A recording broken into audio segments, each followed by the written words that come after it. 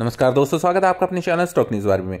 तो ये तीन टाटा स्टॉक याद रखिएगा, बहुत इंपॉर्टेंट होने वाले, आने वाले टाइम में, क्योंकि जितना ये गिरेंगे उतना इनमें एक्चुअली में तेज़ी आने के चांसेस है। एक स्टॉक तो ऐसा है जिसका बिज़नेस इतना धमाकेदार चल रहा है कि मतलब उसमें सेलिंग प्रेशर होना ही नहीं चाहिए।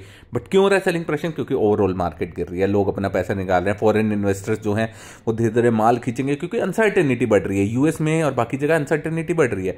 तो अगर वीडियो पसंद आए तो लाइक और सब्सक्राइब ज़रूर कीजिएगा और आप ज़रूर बताइएगा आपके फेवरेट तीन स्टॉक कौन से होने वाले हैं इसमें से। मेरा सबसे पहला है इंडियन होटल्स देखिए, ये स्टॉक भागा है। ऑब्वियसली भागा है बट ये और भी भागेगा। क्योंकि इंडिया में अगर आप घूमने की देखेंगे तो हर जगह होटल्स बुकड है। कहीं भी आपको ऑक्यूपेंसी मिलेगी नहीं वीकेंड्स पे, और बहुत ज़्यादा ये याद रखेगा दूसरा टाटा मोटर्स आने वाले टाइम में सियरा लॉन्च होगी कर लॉन्च होगी टाटा पंच लॉन्च होगी ईवी में। इनका ईवी बिज़नेस इतना बड़ा हो जाएगा आने वाले चार से पाँच साल में कि कोई और बिज़नेस स्टैंड नहीं कर पाएगा। अभी ये सारे देखिए टाटा स्टील मेटालिक्स वगैरह थोड़े से इनमें प्रॉब्लमेटिक क्यों है?